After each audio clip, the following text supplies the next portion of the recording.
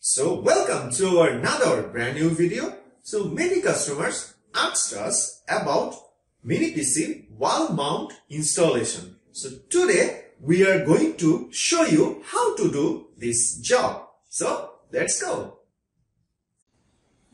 So we are now with our ACEPC AK1 mini PC. So here is a option to wall mounting. If you check on the back, so here is two options.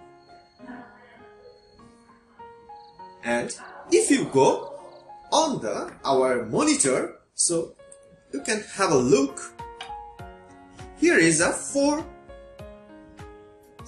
hole for wall mounting. So this is also except wall mounting. So let's go for the next step. Okay, so let's start our demonstration part. So here is our ACEPC mini PC new box. So let's open.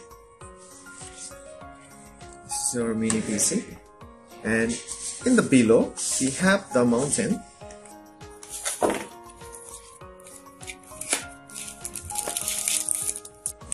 here is our mountain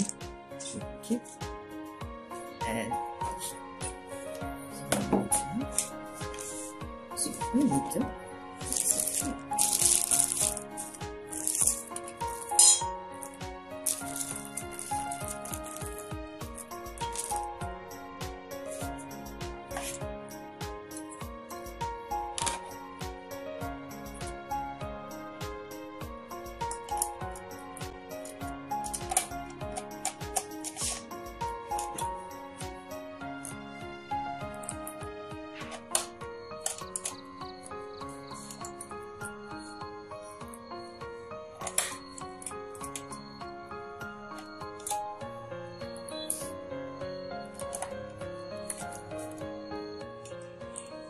so it's fixed now we need to get up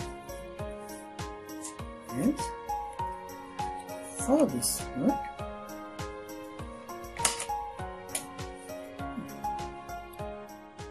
So this is the last step. So we will show how to turn on our ACEPC. Here is our VGA cable and here is our converter. So which is HDMI. You need to fix here and put it on the top on the VGA port. Yes, and here is our adapter power cord so let's fix it here. And here is our turn on button. Yeah.